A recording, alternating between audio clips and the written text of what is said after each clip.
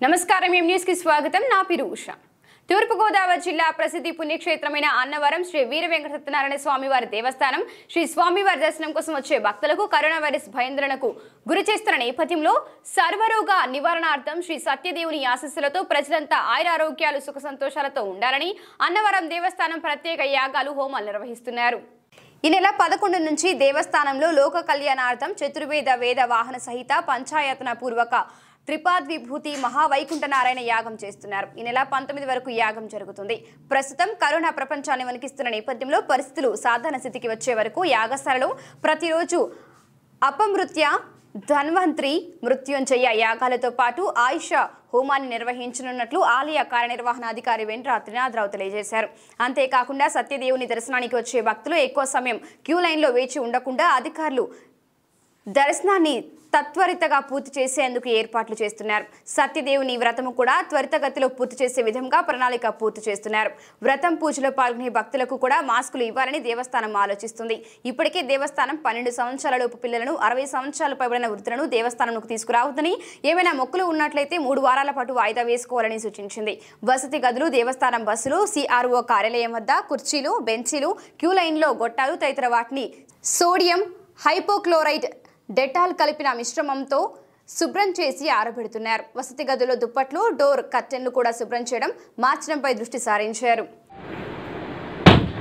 ప్రస్తుతం corona virus అన్నది దాని మీద విస్తృతంగా ప్రచారం జరుగుతుంది. దేవాదాయ ధర్మాదాయ శాఖ ప్రధాన దేవాలయాలలో పెద్ద సంఖ్యలో భక్తులు వస్తారు కాబట్టి వాళ్ళకి కొన్ని సూచనలు చేయడం జరిగింది.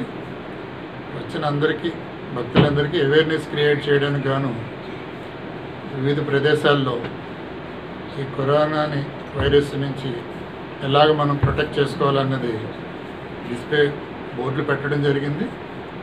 అలాగే నిన్న పత్రికా ముఖంగా కూడా కొన్ని సూచనలు చేయడం జరిగింది. అందులో ముఖ్యంగా దేవాలయాలకు వచ్చేవారు పన్నెండు సంవత్సరాల లోపు పిల్లల్ని అలాగే అరవై సంవత్సరాలు దాటిన వృద్ధుల్ని సాధ్యమైనంత వరకు తీసుకురాకుండా ఉండండి అని చెప్పేసి కోరడం అయింది.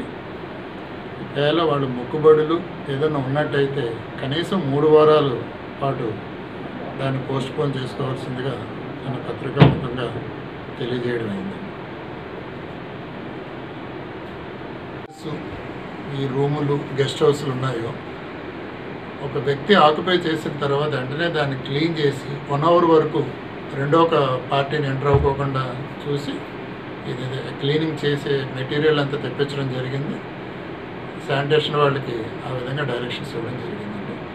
అలాగే ముఖ్యంగా మనకి స్వామివారి కళ్యాణం లేదా ఉగాది వాటికి పెద్ద సంఖ్యలో భక్తులు వస్తారు కాబట్టి మన దేవస్థానం నుంచి వారికి మాస్కులు ఇవ్వడానికి మేము ప్రతిపాదన చేసాం వాళ్ళకి సుమారు పదివేల మాస్కులు తెప్పించడానికి యూనిట్ పంపించామండి. ఇప్పుడు మాస్కులు కొరత అన్నది ఉన్నది.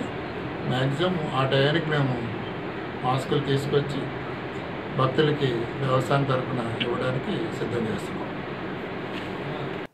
మరిన్ని తాజా వార్తా విశేషాల కోసం వెంటనే సబ్స్క్రైబ్ చేయండి. మీ మిత్రులకు షేర్ చేయండి.